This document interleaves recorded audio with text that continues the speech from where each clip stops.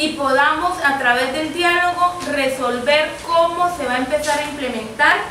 el punto 4 en los municipios, no solo Sardinata, hay una firma de acuerdo en, en Tibú, pero falta el resto de municipios. Nosotros no entendemos la lógica del gobierno, como pasó en el Consejo Departamental de Paz el día viernes, que plantearon primero erradicar y violentar a la después del 29 hacer un llamado para presentarle la propuesta del PENIS. Entonces, si le hacemos un llamado al gobierno que atienda, eh, atienda este llamado que estamos haciendo los campesinos y campesinas. Aquí los esperamos el miércoles en la ciudad de Cúcuta para que abordemos el tema y necesitamos presencia del gobierno nacional, a los que les compete el tema para poderlo resolver por la vía del diálogo. Decimos, vamos a mantener las jornadas escalonadas de movilización, pero es lamentable que eh, tengan que haber más heridos, quizás muertos como eh, pasó en el 2013, para que el gobierno tenga que cumplir. Yo parto de tres,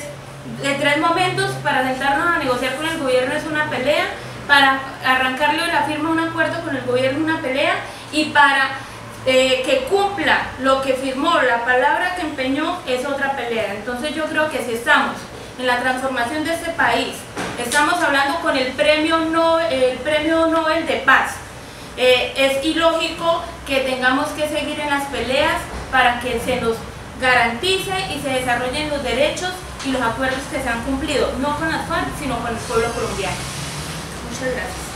Inmediatamente terminada esta intervención, ustedes podrán hacer las preguntas respectivas.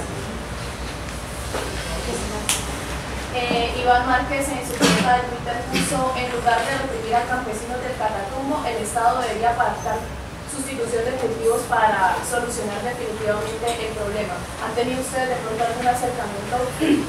con esta idea?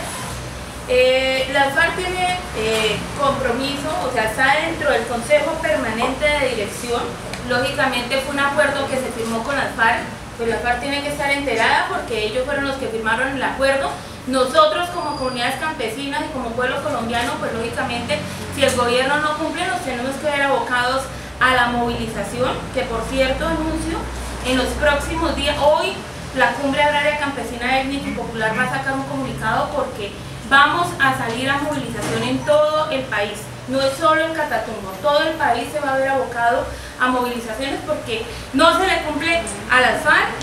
no se le cumple a la cumbre agraria, no se le cumple a las dignidades eh, agropecuarias, no se le cumple a las centrales unitarias de trabajadores, no se le cumple a la mía Catatumbo, o sea, nos están incumpliendo a todos. Y pues,